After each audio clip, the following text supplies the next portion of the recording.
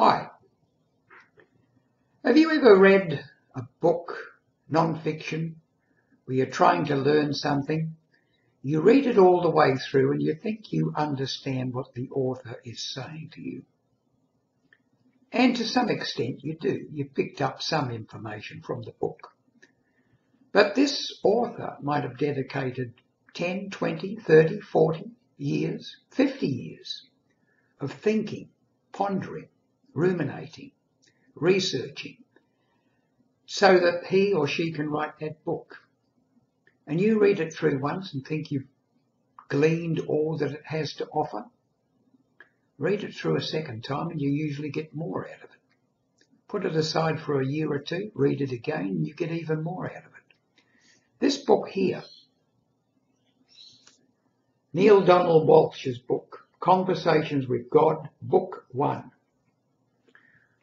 Now, when you're looking at a book which is being dictated by the hand of God through a automatic writer, there's lots of profundity in that book. You will get more and more out of it each time you read it. I am now reading Conversations with God book one through for the 12th time. And each time I get more and more out of it. Let me give you an example.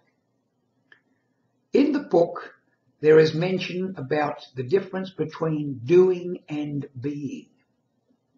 And that doing is far less important than being. In fact, being is the only thing which is important. So it's not what we do in our life, it's what we are in our life, what we are being. And he gives an example of two people of equal ability. He says, for example, this is God speaking here. Imagine that there are two people. They are both very intelligent young men. They go to the same type of college. They're both at the top of their class. They're both academically first class. And then they go into business. One man fails and the other man succeeds. They start the same sort of business. They both have perfect locations in which to start this business.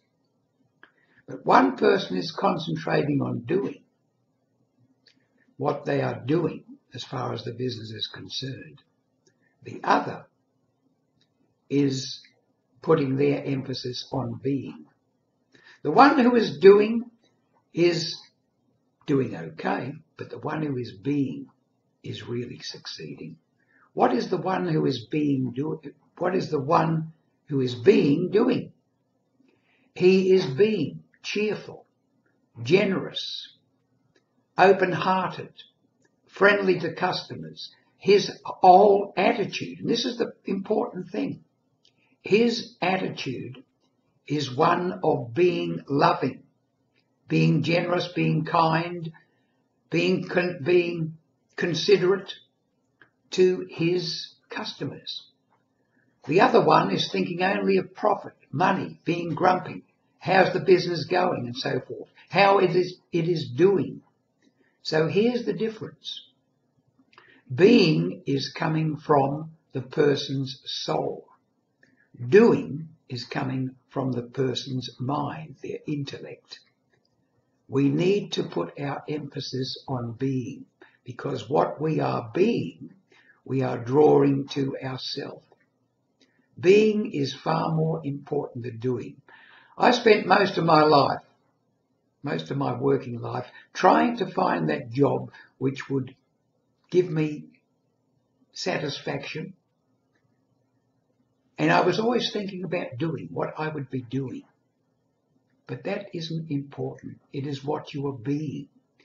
What you are being, it doesn't matter what work you are doing in the world. It is what you are being in that job, in that vocation in that professionalism, whatever it might be.